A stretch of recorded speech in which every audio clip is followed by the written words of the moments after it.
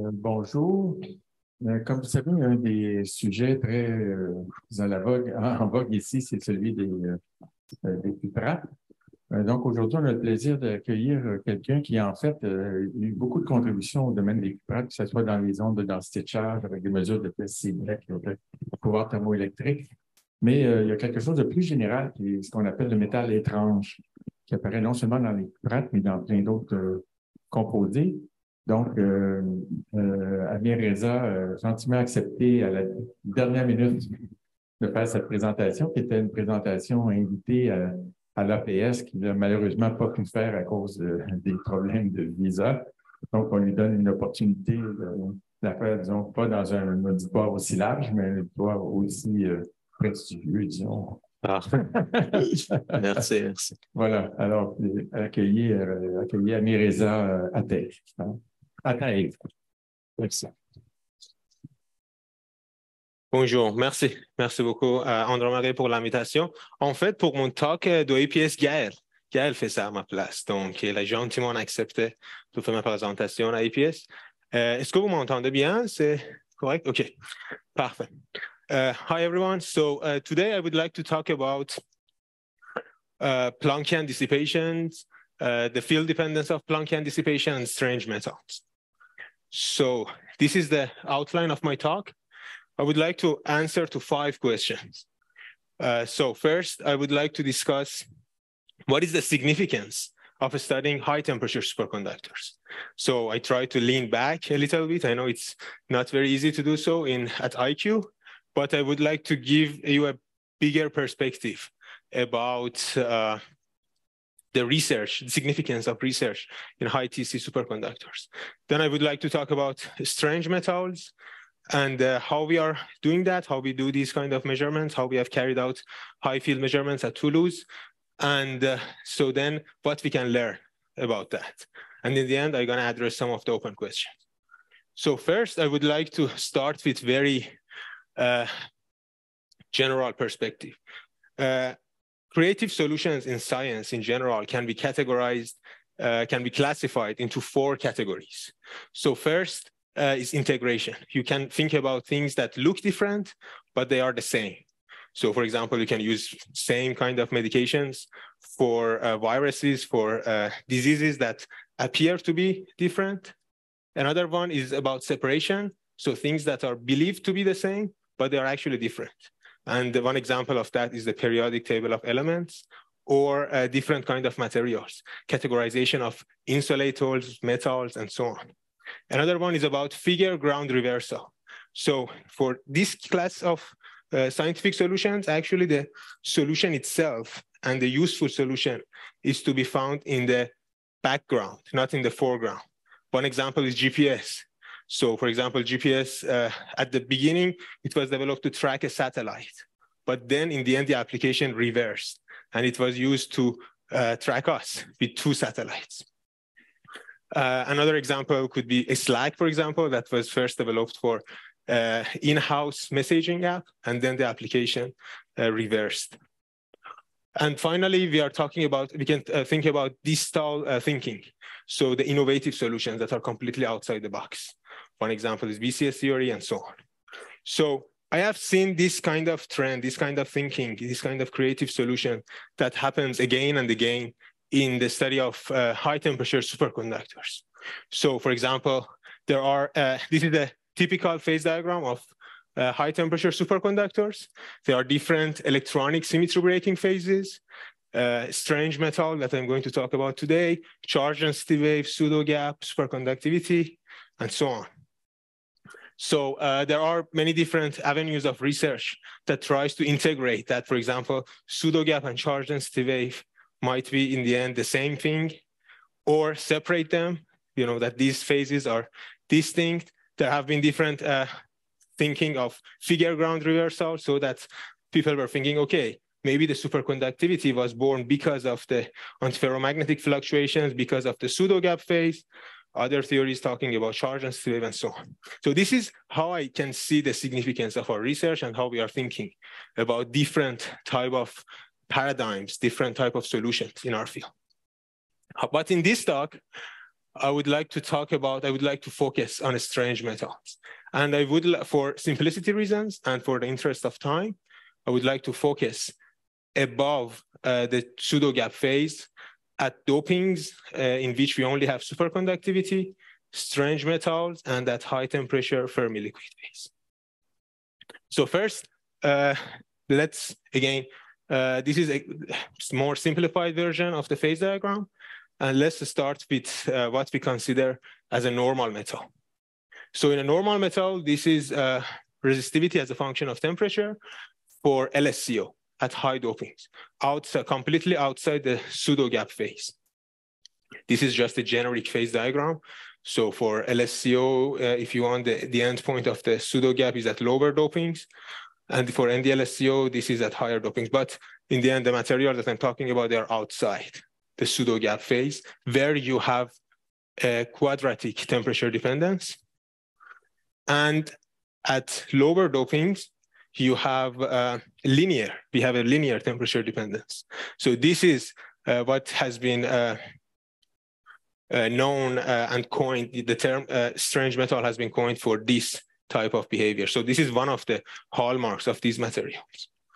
And again, these are, so as we can account for the resistivity with Fermi liquid theory, it is called, it is also considered to be normal metals. So then uh, people are categorizing everything, uh, different metals into three categories, normal, strange, or bad metals. So uh, I don't want to talk about all of the details uh, here, but for uh, specifically for bad metals, the interactions are important. In good metal, the interaction doesn't introduce another, doesn't require a large correction for the scattering rate. However, in bad metals, it is uh, important to consider what is the effect of interactions for the scattering rate. And then uh, these are very, very uh, hand waving terms still to me good metal, bad metals, or strange metals. But for the sake of this presentation, I want to tell you what is strange again about these strange metals. So uh, let's think about uh, normal metals. So here, this green curve shows the resistivity of normal metals as a function of temperature. And you can see perhaps three different uh, behaviors. And in red, this is for, uh, typical resistivity of a strange metal. So at low temperatures, due to electron-electron interaction, and at temperature range that is, again, these are, uh, this is the Debye temperature, and these are uh, not exact values, but it's it works uh, about these temperatures. So for temperatures below 0.2 uh, times of the Debye temperature, which is significantly lower than the Fermi energy, due to electron-electron interaction, resistivity can be written uh, with this formula. So you have different terms. You have a quadratic term, and you have a, another term with the power of five. That is, uh, this one is related to electron-phonon interactions, and the other one is related to electron-electron interaction. And then at higher temperature, we, uh, due to uh, Mott Ioffe uh, Regel limit, we have saturation. So basically, at low temperature, you have somehow a quadratic, some form of quadratic resistivity, and at high temperature, you have uh, a linear uh, saturation. So in between, we have, it's uh, inevitable to have a linear resistivity. So linear resistivity by itself and in itself, it's not strange and it is it has been seen in many materials. And uh, as you can see, these are uh, very normal uh, metals. And above this range, above uh, 0.2 times the Debye temperature, uh, T-linear resistivity has been observed. So this is uh, not significant by itself. This is not nothing strange about that. The strange things is two things. First, at low temperature, at very uh, relatively low temperature, you have this T-linear resistivity. This is one of the uh, one of the characteristics of a strange metal. And another one is that it passes the Mott Ioffe Regel limit up to the temperature at which crystal actually starts to melt. So T-linear resistivity at low temperature uh, ranges is uh, strange. And this has been, uh, so before uh, where we were inside the superconducting phase, it was hard to, it was very speculative to think about the regime of resistivity at low temperature. But after the development of high field measurements, this uh, part of the phase diagram, the resistivity in this part of the phase diagram and in this uh, temperature range was measured, and the perfectly T-linear resistivity was observed. So now let's talk a little bit about uh, Planckian dissipation. So I start with basic uh, formalism. This is the Drude formula. M star is the effective mass, N is the uh, density of carriers, electron is the, E is the charge of electrons, and tau is the scattering rate, scattering time. One over tau is the scattering rate. So uh, in the strange metal phase, one over tau can be written as follows. So uh, alpha times kBt, kb is the Boltzmann constant over h bar. And alpha uh, is constant in many different systems. So uh, again, in uh, strange metals, we have a T-linear resistivity. If you substitute uh, 1 over tau in this formula, uh, so yeah, we have, so in strange metals, we have T-linear resistivity, as I mentioned. And if you substitute 1 over tau from this formula in a resistivity, in T-linear resistivity, and calculate the derivative, you have uh, this uh, relation. So if you uh, continue to uh, work out the map, the math, uh, you can uh, see that NE squared times uh, E NE squared over KBKF times zero over DT is proportional to alpha over uh, Fermi velocity. This has been uh, observed in many different uh, systems that are not, that are very, very different. But I think it's fair to also mention the recent developments that, in which people measure different systems uh, in which, so different, for example, uh, heavy fermion systems, in which they calculated different M star, and then they plotted this relation. So this relation is what I uh, worked out here, what I showed you here.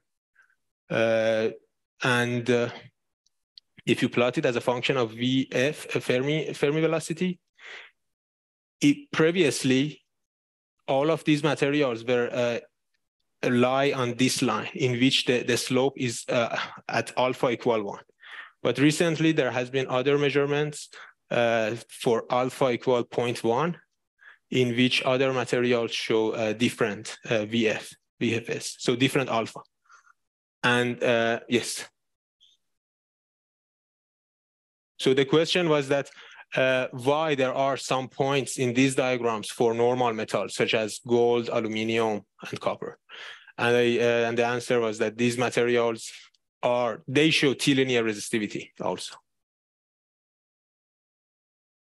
Yes, so the question is that for these normal materials, the alpha should depend on uh, the Debye temperature. So uh, this is uh, all of these measurements. So uh, they were considered to be uh, done at the regime in which we have T-linear resistivity. So in a given window of temperature where we have T-linear resistivity. So yes, it depends on the Debye temperature, but uh, we look at the temperature in which we have T-linear resistivity. Yeah, that, that's uh, that's a very good question that that has been addressed at the March meeting this year. So what they explain is that so here we talk about strange metals, which is T-linear resistivity in the T equals zero limit. But indeed, in convention, conventional metals, you can also observe T-linear resistivity, but in a very different regime. So above like half of the Debye temperature or something. But the slope, uh, as far as I understand, is that the slope that gives, uh, so for the copper, gold, and whatever, the slope of the resistivity is related to the electron phonon coupling. And in the end here, it's it's almost a coincidence. I mean, it's like there's no bound on, on alpha, but all metals, uh, as far as I understand, have a, as an electron phonon coupling the same order and that gives you about one. So, so, so that's a very good question because um, in the case of conventional metals, uh, there is no limit on the electron phonon uh, scattering. Uh, but what Chaitanya Murthy, a, a, postdoc with Steve Kivelson mentioned at the March meeting is that if you were to increase the electron phonon coupling in, in metals, you will end up with insulators. So at some point, this electron phonon coupling is is reaching like a, a, universal value. I mean, something very common among, among all metals. And that happens, that always gives you about the same slope for all metals. But the uh, and then the links to the to the question of the talk is uh, is is this Planckian limit at low temperature in strange metal a real limit, or is it also a coincidence that it always end up in the in the same order of one value? Uh, I mean that's. Uh, I don't know if it was very clear, but that's uh, that's a very relevant question. That's Okay, very good. Thank you. Yeah, I would be happy to uh, go back to that at the, Uh, the end of. If I can make Yes. just one more comment. Uh, Bertrand, if you see yes. Right, the scale is logarithmic, so. uh, Almost, yes, yes. Right. Uh, okay. So yeah, what I wanted to say is that there has been some uh, re more recent measurements uh, that try to put other uh, materials in this phase diagram, but then uh, the deep, uh, there is a larger error bar because me the measurement uh, for uh, calculation of the of MS star is more complicated. So uh, this talk, in this talk, I would like to focus on T-linear resistivity that was observed in uh, many different strongly correlated electron systems as a function of different tuning parameters. So one of them would be a field. So temperature, uh, T-linear resistivity was observed as a function of field, as a function of doping in different systems. So these are heavy fermions. This is strontium ruthenate, cuprates. Uh, recently in magic, ang magic angle twisted bilayer graphene, uh, T-linear resistivity was observed as a at particular uh, carrier density. And now there has been different debates uh, in the community that where we have T-linear resistivity in particular. So if we focus on these two uh, tuning parameters, temperature and field, where we have observed T-linear resistivity, B-linear resistivity was observed. And with uh, this uh, scaling mechanism, these two can be uh, connected and uh, in cuprates also in cuprates in systems uh, in which T-linear resistivity was observed. Again, at low temperature, B-linear resistivity was uh, also observed. And now the question that, and it has been conjectured that T-linear resistivity and B-linear resistivity might be related to one another. So the question that I try to answer is that is B-linear resistivity another facet of T-linear resistivity? And uh, to answer to this question, I'm uh, going to talk about the, uh, how we measure resistivity and how we model resistivity. But first, let's start by our uh, measurement. Uh, this uh, talk is based on our recent paper that was um, that was the fruit of collaboration uh, with uh, University of Sherbrooke. And I would like to highlight uh, the contribution of Adrien Gaël, uh, and also this project was led by Louis Taillefer with our collaborators at uh, Laboratoire National de Champs Magnétiques Intenses at Toulouse, uh, with collaboration with Cyril Proust, and the samples were provided with by, by three different groups. So again, uh, I remind you that I look at uh, the samples that we measured. I measured three, we measured three samples in this study, all of which are located above the pseudo gap phase where we still have superconductivity and uh, strange metal. So these are the three samples that we measured. So uh, one ND-LSCO and two LSCO samples with different qualities. So LSCO S2 and this one. And uh, this, the measure of quality for us in this case is uh, the residual resistivity. So when you have a higher residual resistivity, you have more disorder in the system. And when you have lower residual resistivity, you have a cleaner sample and less disorder. And so uh, these are two LSCO samples. They are all at uh, doping of 0.24. And there is one ND-LSCO sample in between with, uh, with a cleanness that is in between these two samples. So in these measurements, first, uh, we use this field configuration. We applied, uh, we have, we measured single crystals. We applied current in plane and we applied the field out of plane. So if you can imagine the copper oxide planes like that, we uh, put the, the current, the electric current was in plane and the field was out of plane. So in these uh, three samples, this is the uh, resistivity measurement as a function of magnetic field. For different isotherms, we started from 100 uh, Kelvin down to, sorry, down to uh, four Kelvin for uh, three different samples. And uh, this is the experimental setup. And uh, what we see is that at high temperature, resistivity scales as B squared, which is uh, normal as it's supposed to be. And at low temperature, it evolves to a perfectly T-linear resistivity. So uh, in this work, we chose two samples. So for NDLS2 in particular, it has a relatively low, low TC. The TC was below 20 Kelvin. And uh, as we are, uh, we measured a sample with a lower TC at low temperature, we had access to a very wide range of uh, normal state. So this is, uh, you can oppose that, you can compare that with previous work. So in the measurement of LSCO with doping of uh, 0.18 and 19, uh, these the same measurements were carried out, but they had access to a smaller uh, field range. And in other samples, in other uh, cuprates, thallium-2201 or BSCCO, uh, high field measurements was uh, were carried on on samples with uh, lower TC, but these measurements didn't go to very high fields. So this is the experimental work. And just for the purpose of simplicity, I plot the relative magnetoresistance. So I normalize uh, rho B over rho of zero. So rho of zero is the value of uh, resistivity at low temperatures, at uh, zero field, sorry.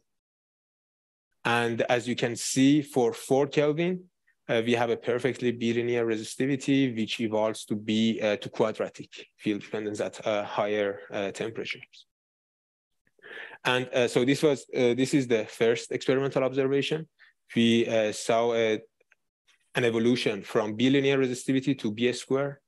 The second observation was that in these three samples that we measured with three different uh, disorder levels, at uh, samples with higher highest quality, we saw the highest uh, magnetoresistance, and by decreasing the uh, by uh, increasing the disorder uh, level, the magnetoresistance decreased. So all of these isotherms were measured at the same temperature.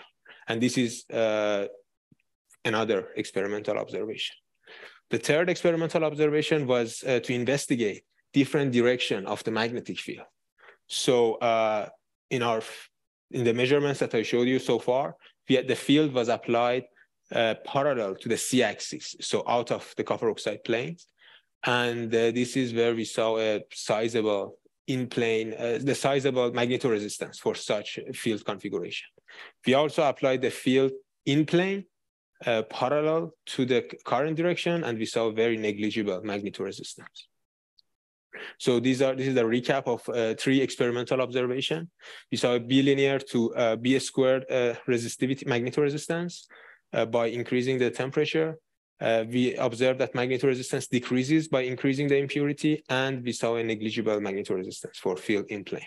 So now let's try to uh, understand the data by uh, modeling. So uh, this the NDLSCO sample that we used, we consider that to be a unique playground for studying uh, resistivity, studying different electronic properties of this system.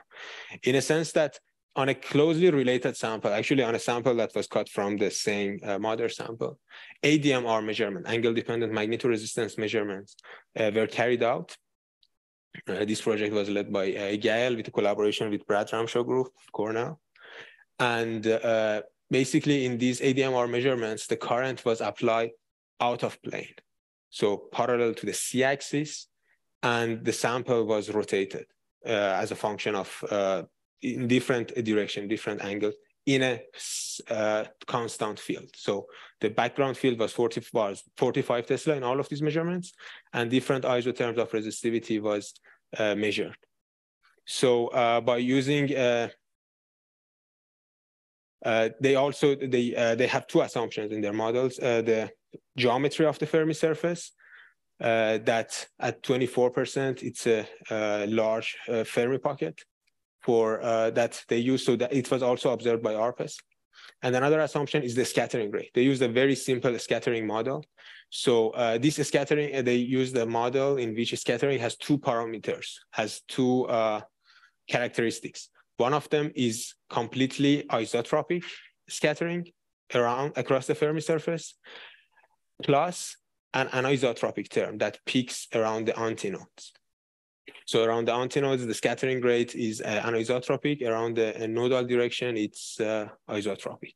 This is, again, the second uh, assumption. So uh, by assuming this Fermi surface, this uh, scattering rate model and this Fermi surface topology, and fitting the data. So fitting the data is also uh, it's a relatively complicated uh, process because we have they had to fit all of these features as a function of temperature, and uh, by doing that, uh, basically isotropic and anisotropic scattering rate uh, was ex extracted.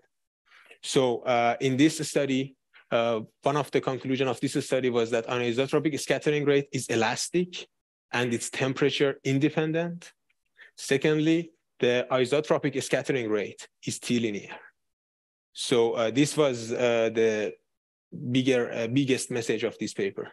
And this isotropic scattering rate happens to uh, have this uh, Planckian dissipation. And the, the, slope here, the slope of this line is about uh, 1.2. So based on this study, we think that uh, the scattering rate. This, especially uh, the isotropic scattering rate, is what sets uh, the T-linear resistivity. And then the question of uh, what sets this isotropic uh, scattering rate is another question. Uh, but okay, armed with this data, with an isotropic scattering rate, with a scattering rate of the same material that we studied, and using the Boltzmann transport, which is a semi-classical model. So we use Chambers formula that is a derivative of the Boltzmann transport. We revisited our data. So again, I remind you, these are uh, the experimental data. And uh, we uh, use the same ADMR model to uh, predict, to see what one expects for the magnetoresistance. So the question is, what is the origin of the anisotropic scattering rate? And uh, I think it, one of the origin of uh, this anisotropic scattering rate could be, for example, uh, as this is uh, so as this anisotropic scattering rate is elastic, we think that it might be re uh, related to the disorder and defects in the system. Uh, the question was that if the anisotropic scattering rate is related to the disorder level of the system, you expect that it changes as a function of with in different samples with different qualities. And uh, I go back to, to that later. Yes. So it looks like a universal number, right? So where the uh, where the feeling is sitting or interactions? Where the interactions? Yeah, like if you, if you look at the phase diagram, right? So so the for instance, it should it should have somehow go to the Fermi liquid phase if you change feeling, right? So where the is it alpha this alpha sensitive to the feeling? Or? No, no, no. So that is uh, another thing. So that is actually one of the uh, message of this discovery. The scattering rate has no field dependence in this study. And actually, question was feeling. The feeling or field? Ah, okay, feeling. feeling. Sorry, sorry. Field. what is my feeling about uh, alpha? the filling depend, the doping dependence. I see. Okay.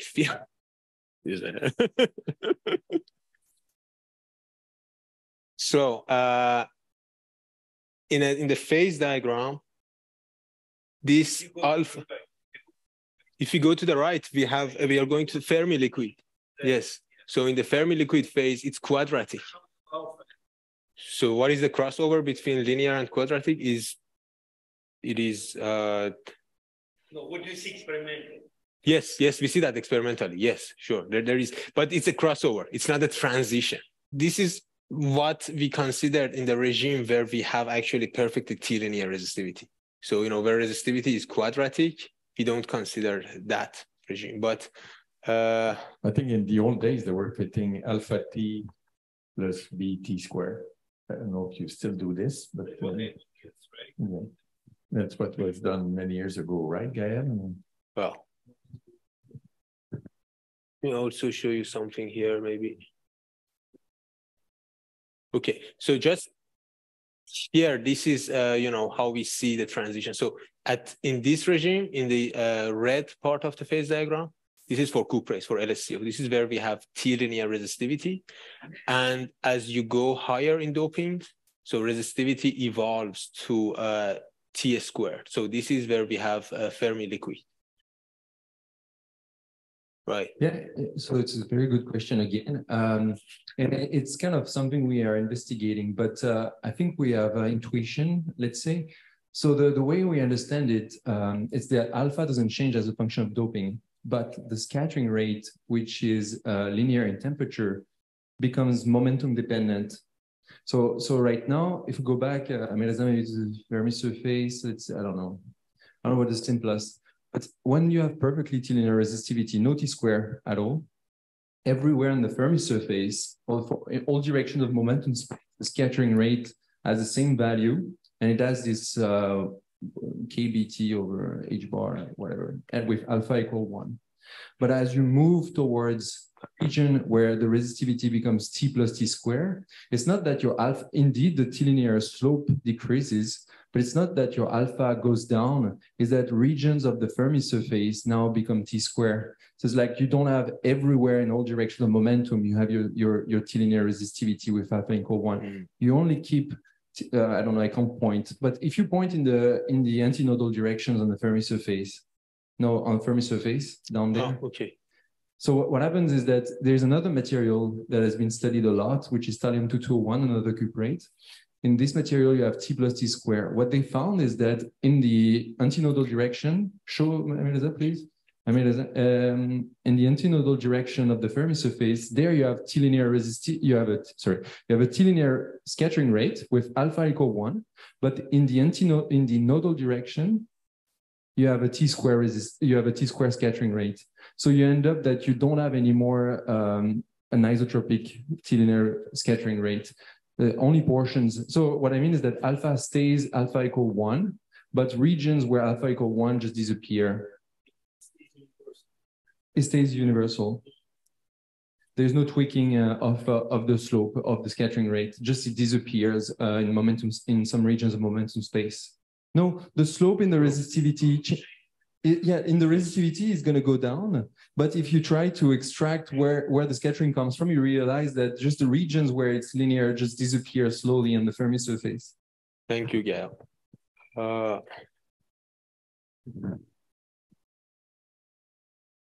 okay, so now the, the other question that we try to address was that uh, what is what sets this uh, T, uh, B-linear resistivity? So uh, in the data that I showed you, in the data that we uh, used uh, scattering rate that was extracted from, sorry, uh, in the data that I showed you earlier, that was uh, in which we used the scattering rate from ADMR data, we saw a perfectly B-linear resistivity, well, in the range in which we carried out these measurements. For your information, eventually it will saturate at high enough field. Uh, but the question was that what, under what, which uh, circumstances this B-linear resistivity uh, would disappear. And to answer to this question, we uh, redid the calculations and we turned off this anisotropic uh, component of the scattering rate. And there, this B-linear resistivity was disappeared. So this is, again, another observation that came out of the modeling that what sets this B-linear resistivity is the anisotropic scattering rate. So now uh, back to the question of uh, how we can understand this uh, magnetoresistance for samples with different disorder levels. So uh, we try to uh, fit the data again. And uh, as it was very well actually guessed, what controls this different levels of this magnetoresistance, what uh, controls the magnetoresistance is the elastic, is temperature independent elastic scattering rate. So simply by using a prefactor C and doing the rest of the calculation uh, with uh, the parameters that uh, came out of the ADMR measurements, we were able to account for this magnetoresistance qu uh, quantitatively. So by uh, this is for NDLSCO with the prefactor C1, and uh, if you reduce the impact of this uh, elastic temperature independent elastic scattering rate, you can reproduce what was observed in the clean sample. And if you increase this prefactor, you can also observe what was, uh, you can uh, reproduce what was observed in a sample with uh, lower quality. Uh, and last but not least, this is still a, an open question. So with our uh, model, as, as I showed you this experimental data before, we observed no in-plane magnetoresistance. And uh, by uh, using our model, by using uh, Boltzmann transport with the scattering rate that we had, this is also what was uh, reproduced. So we saw a uh, sizable uh, field, field dependent magnetoresistance for B parallel to C, where the current was in plane. And we saw close to no or negligible magnetoresistance when field was parallel to current. So uh, this is again the the last observation, but which this is which is uh, completely trivial. So you don't expect it because there's no uh, Lorentz force when you apply the field in the direction of the current. But uh, this is something that we observed uh, with our uh, model, and uh, that is what we've seen in our data. So why we even bother to measure such a trivial configuration of field? So recently it was observed that when you actually apply field in plane in the direction of the current, you can see an uh, you know a sizable magnetoresistance for the system that Gael measure, uh, mentioned before, so thallium 2201. So in this system, uh, the puzzle and the open question is that uh, it's very large in-plane magnetoresistance, almost at the with the same uh, size for the out-of-plane uh, field magnetoresistance was observed in this system. And this is a question that uh, should be addressed. Maybe it depends on the peculiarities of the Fermi surface or uh, the scattering rate that is uh, different in this system. And another question that, uh, another thing that is still uh, an open question is that what controls the T-linear resistivity and the scattering rate? So the when you have a T perfectly T-linear resistivity. And one of the curious cases is that, for example, in these samples, in thallium-221, in samples that are extremely clean, you have a very nice, perfectly T-linear resistivity. But if you apply, uh, if you uh, extrapolate this uh, T-linear resistivity, it goes to negative values. So now the question is uh, uh, how, when you apply sufficiently enough magnetic field for, in order to suppress the superconductivity completely here, you have to apply a very large field. So uh, the question is how it will evolve and what would be the uh, what would be the temperature at which this magnetoresistance changes course, for example? Would it stay T-linear all the way to zero or it uh, changes course? So uh, with that, I would uh, like to conclude my presentation. So we observed, uh, we showed that Boltzmann transport can model the B-linear magnetoresistance we uh, show that Boltzmann, with Boltzmann transport, we can account for the transition from B-linear to B squared uh, resistivity. We show that there is no uh, in-plane uh, magnetoresistance for the direction of field in plane, at least in these systems, in LSCO and ND-LSCO uh, cuprate superconductors. And uh, we saw that uh, we showed again that the scattering rate doesn't have a field dependence. Thank you very much for your attention. Thank you, Amirreza, for this talk. Um, a very short question about what you said last. Uh, why is it surprising to have a sizable magnetoresistance when B is parallel to yeah to, to current? I mean, it just I mean, why would you expect it to be zero? Negative? Yeah, because of the Lorentz because of the uh, Lorentz force. So you know when you apply field, usually when you know it's out of uh, plane, it should yeah, be out sure. uh, in the a direction perpendicular to the current. Yes, but I mean, there you have. If you think classically, you would, you would have some kind of helical trajectory there. So, so the electrons are still moving, they can still scatter a lot, even though they don't scatter due to the Zen motion, they could scatter uh, much more if they do this uh, helical motion, it seems, I mean, naively. Yes, but this usually this produces very, very negligible magnetoresistance.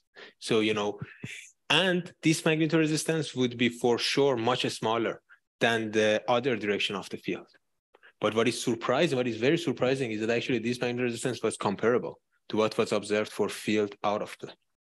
So I agree with you, this helical motion, but this is this gives you very small magnetoresistance. Yes. So I have a question. So normally you can scale uh, for a regular metal or for regular metals, you can scale all the resistivities by the Debye temperature. What happens if you take your ITC data and scale it onto that plot. Would one see a difference? One should, no? So the question is uh, what we see when we scale this with the Debye temperature? Yeah. So you have a, an early plot where you scale all the resistivity with the Debye temperature out of the book from uh, the, who's the guy with the transistor? Yeah. No, no Kittel. Uh, Ashcroft. I think Ash, no, not a Bardeen. It's out of the book of Bardeen.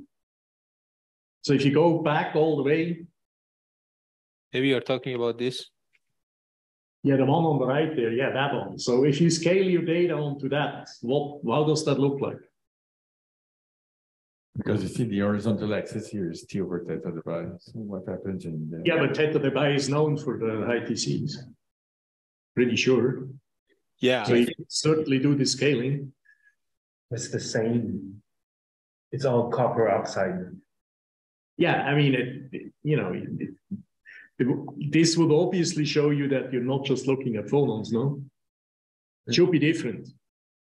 I think so. It deviates. I think it deviates from this line, and it's it should be somewhere here because of uh, so first these uh, the Debye temperature for these typical metals are of the order of 200 300 Kelvin or so. For cuprates, I think it's much higher. It's it's it's low.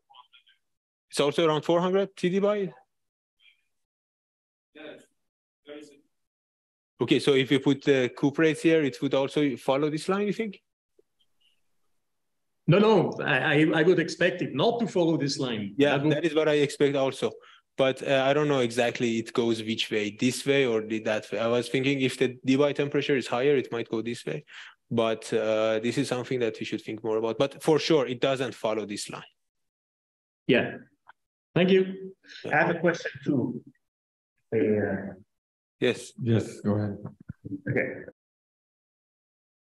So it, you had a, a slide where you had a, a phase diagram with the um, temperature and magnetic fields, where you kind of extended the uh, the phase diagram of where you have uh, linear um, dependence. Um, and my question is, uh, what I seem to be getting from your data is that as you apply a magnetic field, you decrease the range of where you see linear resistivity. Uh-huh. Mhm. Is that correct? Yes, let, let me uh, go to the slide. Yes. So uh, you are talking about this. So for example, if you say that here there is a range in which resistivity is uh, T-linear, while we are uh, decreasing the temperature, this T-linear uh, range would be larger and larger. That's Is the question? Yes. Yes. So yeah, that is actually we tried like many many different fittings uh, on this data, but uh, if you if you want to fit the data uh, with like uh, different, there's the two carrier model in which it invokes both B linear and B squared resistivity.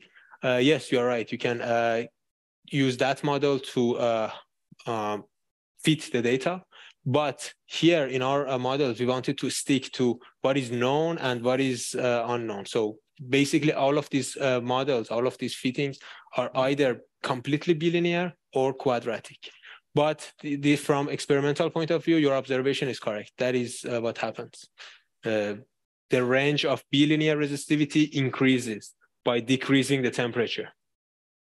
But then uh, in our uh, model, it doesn't have any uh, particular significance. But in a uh, multiple carrier model, yes, it has some, it, that is uh, introduced by Nigel Hussey. They make some conclusion out of that. But from experimental point of view, that is true. Yes, this the range of T-linear resistivity becomes larger and larger at low temperature. Okay, thank you. Is it okay, Michel? Wait, Okay, there's another question online by Pierre Olivier. Yes. Hello. Um, Oh, I was wondering uh, about uh, the linear resistivity with uh, the magnetic field. Um, why do you need to get to such a low temperature to to get this linear resistivity? Since when you're uh, not using uh, um, the magnetic field and only the the temperature, the range is very high in temperature. What is your feeling about this? So the question is why we have to go to low temperatures in order to see this uh, B-linear resistivity? Yeah, like knowing that uh, when you don't change the the, uh, the magnetic field, you you can get to very high temperature and still have your linear uh, resistivity. I see. Okay, I see. I see the question. So, uh, yeah, the thing is, if we go to like a higher temperature, as uh, Michel also alluded to, we have the combination of B-linear or B squared resistivity. But if you want to see a perfectly B-linear resistivity, you have to go to a low temperature.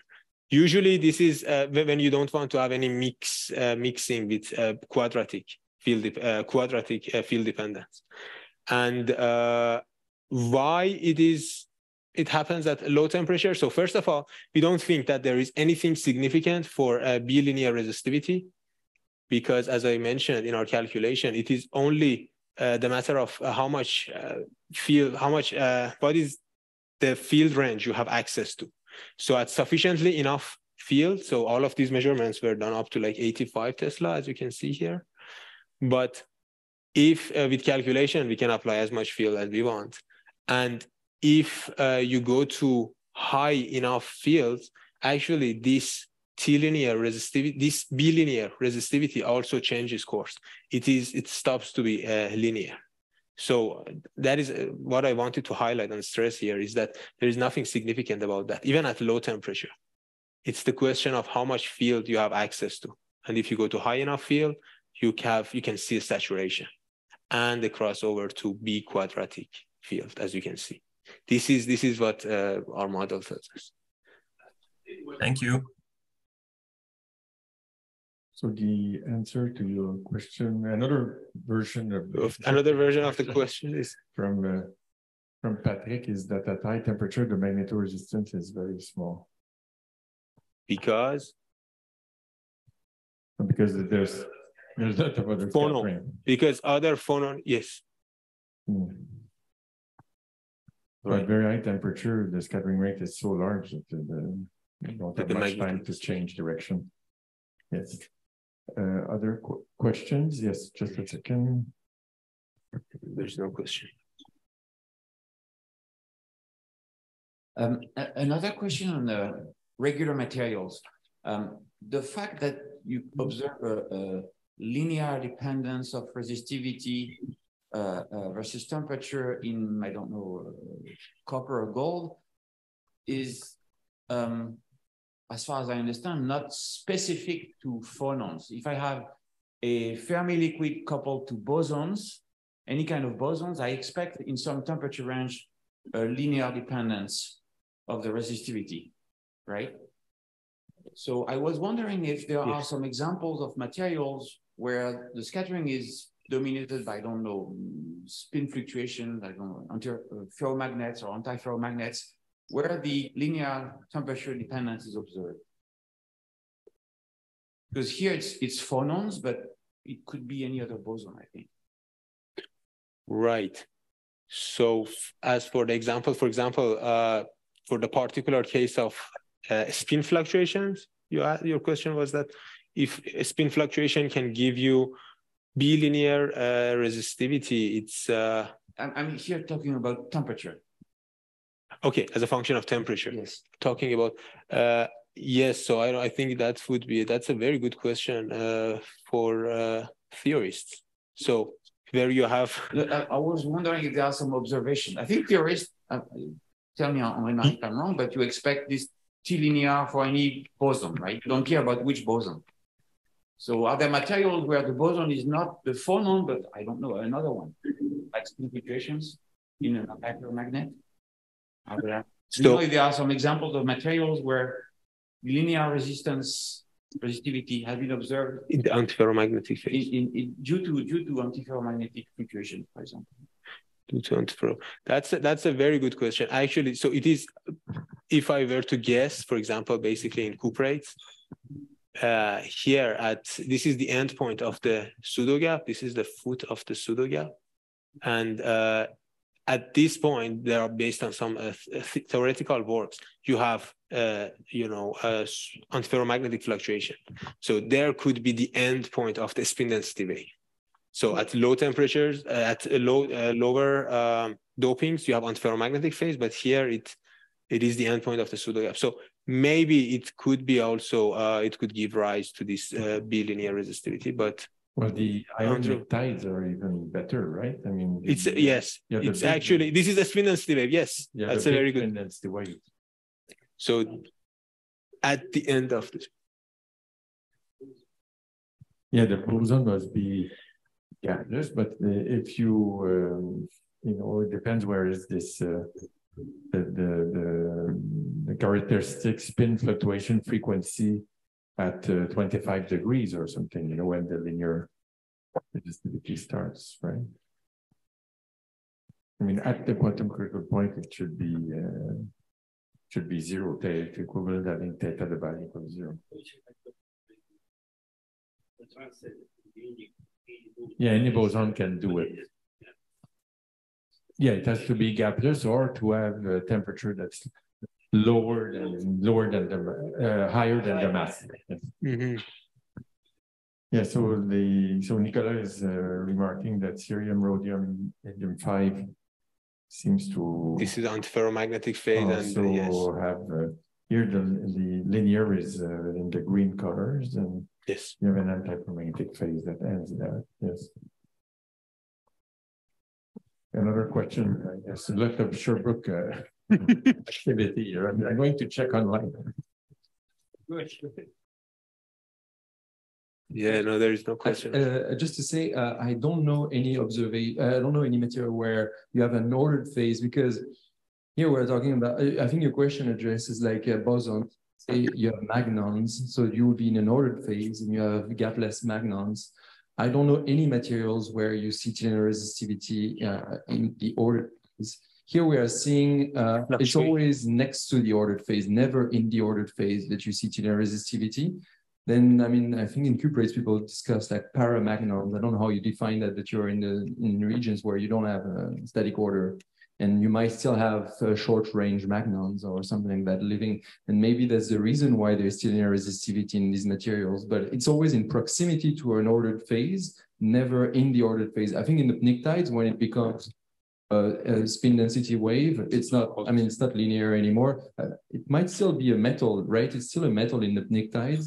In the cuprates, it's an insulator when you enter the antiferromagnetic phase. So you never see linear resistivity when you have long range order. Uh, and I don't know any other bosons that give you linear resistivity.